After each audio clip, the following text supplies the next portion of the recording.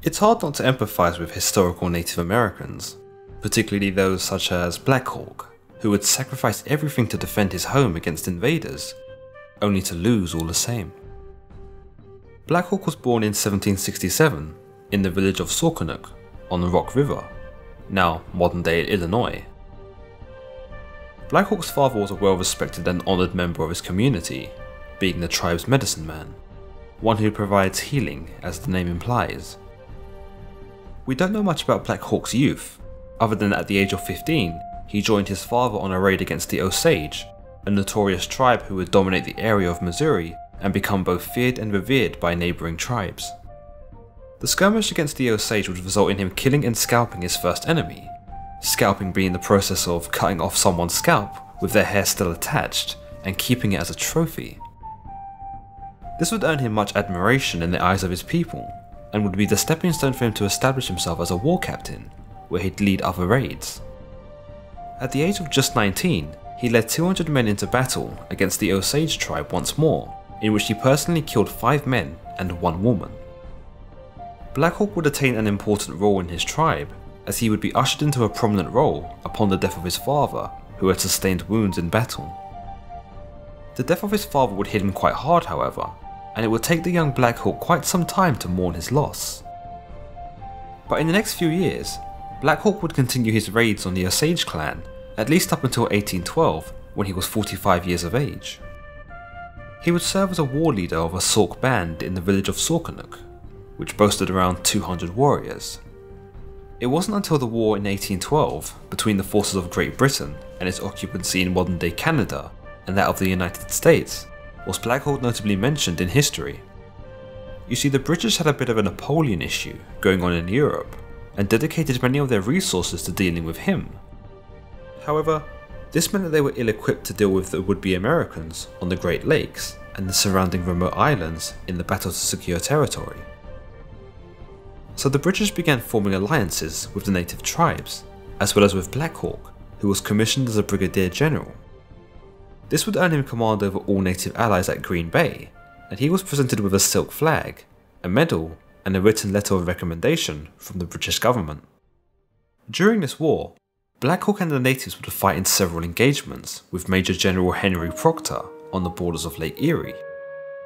Black Hawk would also engage in several skirmishes, though even with British backing, he was repelled by the United States forces even when they were outnumbered, like in the case of Fort Stephenson, where the United States forces repelled the enemies using tactical marksmanship and a cannon known as Old Betsy. Black Hawk despaired over the many lives lost at the hands of the United States. In the end, he decided it was best to return home back to Saukenuk. However, upon returning home, he would find his rival, Keokuk, had become the tribe's war chief and had taken his place. Outraged by this, and seemingly cast out, Blackhawk rejoined the British Army in an effort to put an end to the bloodshed of his people.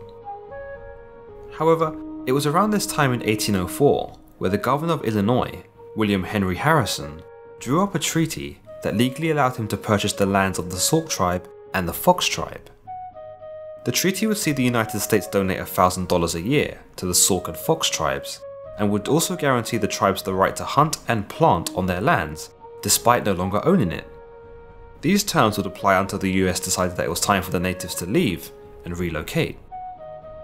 The treaty was signed, but not necessarily by those who were authorised to do so. The tribe leaders deemed the treaty illegitimate, as it was not signed by anyone qualified or by anyone who spoke for the tribes as a whole.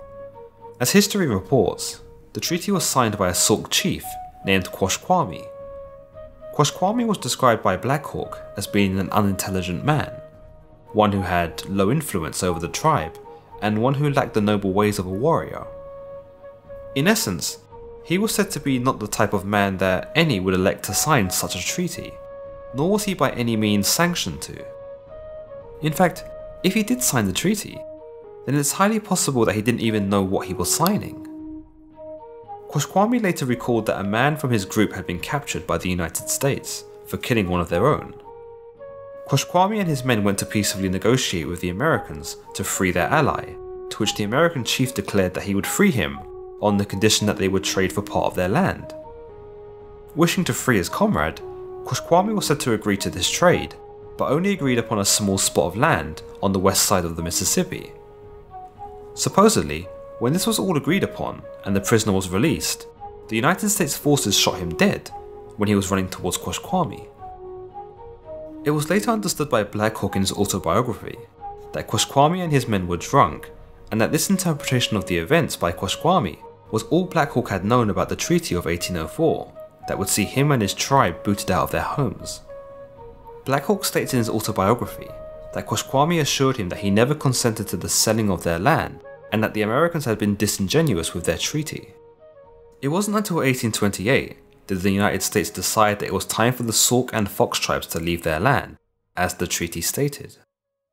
Keokuk, who was Black Hawk's rival, had now taken his place and decided that resistance was futile and led the natives away from their home and towards the Iowa River.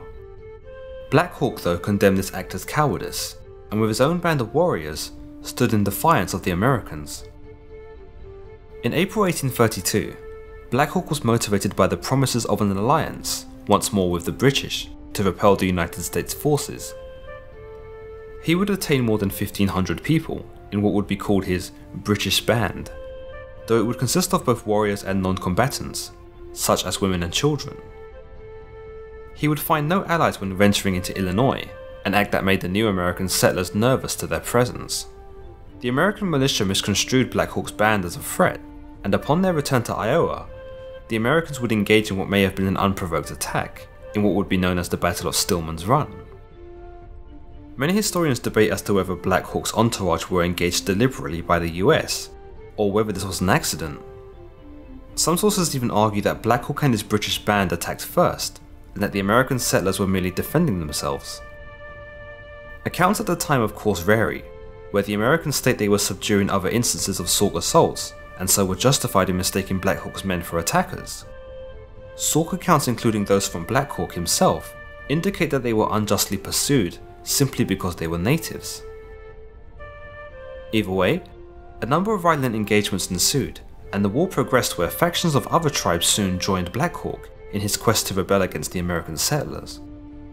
The war stretched on with battles and skirmishes on both sides, but one that sticks out is the Battle of Wisconsin Heights, Black Hawk and his entourage were still fleeing the militia, which was led by Colonel Henry Dodge of Illinois.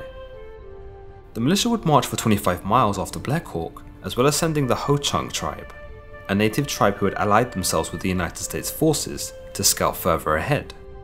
Unable to find food and provide enough provisions for his band of warriors, as well as the elderly, the women, and the children, Black Hawk soon found that many were in poor health, some even starving to death on the road. In his autobiography, Blackhawk stated that he had no intention in battling the Americans at this time, as his only concern was the well-being of his people. Instead, he sought to escape back across the Mississippi River, but upon the approaching of Colonel Henry Dodge's militia, he was left with no choice but to fight. On July 21, 1832, the militia caught Black Hawk's band as they attempted to cross the Wisconsin River. Risking their own lives, Black Hawk and his warriors appeared on the surrounding hillsides in bids to distract the militia. It was Black Hawk's resolve this day that saw the bulk of Sauk and Fox civilians survive as they crossed the river and escaped via rafts. Black Hawk's warriors were not so lucky though, for their sacrifice would see many of them pay the ultimate price at the hands of Colonel Dodge's charge of bayonets. More US forces arrived at the battle and engaged with Black Hawk's men in a firefight for over 30 minutes. Furthermore, large groups of Sauk and Fox women and their children were gunned down by the US or their allied tribes once they reached further downstream. Black Hawk was able to escape however, where Colonel Dodge decided it was best to wait until morning to try and find him. By that point though, Black Hawk was gone. A Sauk chieftain named Neapope had remained behind and attempted to tell the militia officers that Black Hawk and his group had only wanted for the fighting to end and only sought refuge across the Mississippi River. However, the US troops did not understand him, and it seems as if the Ho-Chunk tribe in which he had served with them were no longer in attendance. Therefore, Neapope's explanation of Black Hawk's true intentions went unheard. But Black Hawk's troubles were only just beginning. Most of his British band had been diminished, as many had either left the cause, or in the case of the children, had simply died due to starvation. The militia who had been well fed and rested were able to pick up Black Hawk's trail again and close the gap on him relatively quickly. It would be on August 1st the same year that about 500 men, women, and children from the original 1500 would arrive at the eastern bank of the Mississippi, a few miles downstream from the mouth of Bad Axe River. Upon arrival, Black Hawk would hold a meeting to discuss their next move. Black Hawk was advised by fellow leader and prophet White Cloud that building rafts to sail across the Mississippi River was a waste of time because the US forces were closing in around them and would likely see them trying to escape. He urged Black Hawk to flee northward and to take refuge with another tribe, but most of the band decided that crossing the river was a far safer plan. While some of them managed to escape across the Mississippi River that same afternoon, a steamboat known as the Warrior emerged. Blackhawk and his followers raised white flags to surrender, but apparently, the emerging US soldiers failed to understand this message and proceeded to fire at them instead.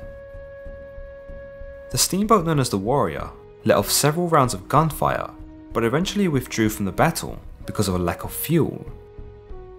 23 natives were killed, including a 19 year old woman who used her own body to shield that of her child. Lieutenant Anderson witnessed this event as it happened and took the child to a surgical tent, where the child's arm was amputated because a bullet had passed through his mother. It was then that White Cloud likely had his I told you so moment, where Black Hawk then agreed to move towards the north and not across the Mississippi. Black Hawk begged his followers to do the same, but many did not listen.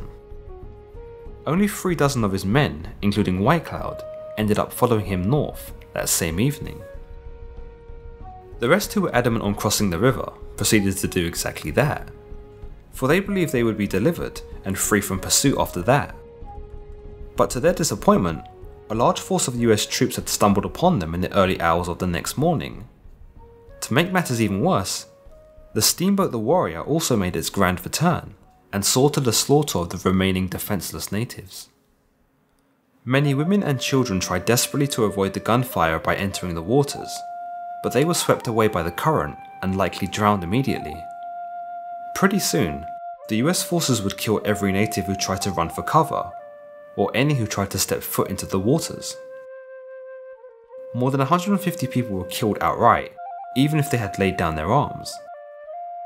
Those who did escape the gruesome scene only found a temporary relief, for they were captured and killed by another tribe who had joined the US Army. Only five soldiers of the United States Army were killed during the skirmish, whilst 19 were injured. You can see how this was a very much one-sided battle, with the US's superior weaponry easily overpowering the natives who were tired, hungry, and likely on the verge of death, having been pursued so relentlessly. Many historians refer to the event as a massacre, but the most compelling account comes from Major John Allen, who stated that killing the natives was a mistake, he said that had they come to meet and surrender, they would have been taken as prisoners of war and not simply decimated. He goes on to explain that it was a horrid sight to witness little children wounded and suffering, but that because they were an enemy of the US, it was justified. Blackhawk and the rest of his band would eventually make their way towards La Crosse River, where they camped for several days before encountering members of the Ho Chunk tribe. The tribe cancelled the band to surrender and despite initial refusal, both Blackhawk and White Cloud would eventually stop their struggle and submit.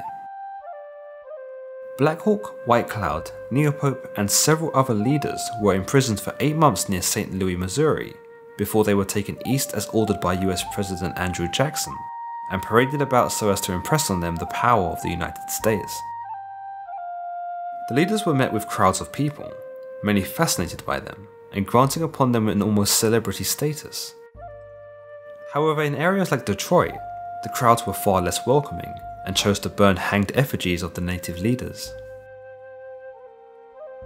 Black Hawk was eventually freed and granted to live the rest of his life with the Sauk along the Iowa River.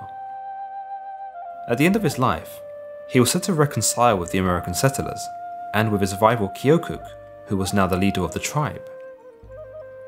He would die on October 3, 1838, after a bout of illness. In some of his last words, Black Hawk stated, It has pleased the Great Spirit that I am here today. I have eaten with my white friends. The earth is our mother. We are now on it. With the Great Spirit above us, it is good.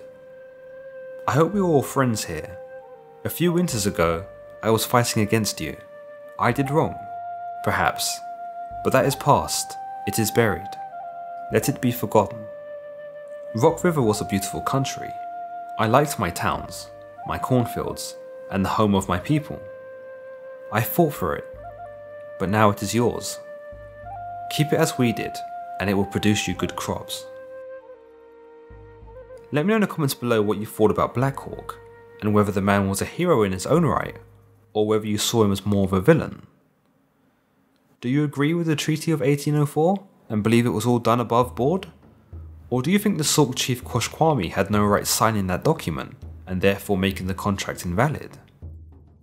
What about the massacre at the Mississippi River? Were the United States forces justified in killing off their enemy? Or was it perhaps a touch overkill? As always guys, if you've liked this video, then do give it a thumbs up and don't forget to subscribe. Let me know if you've enjoyed this video of Native American history and whether you'd like me to cover more legends in this category.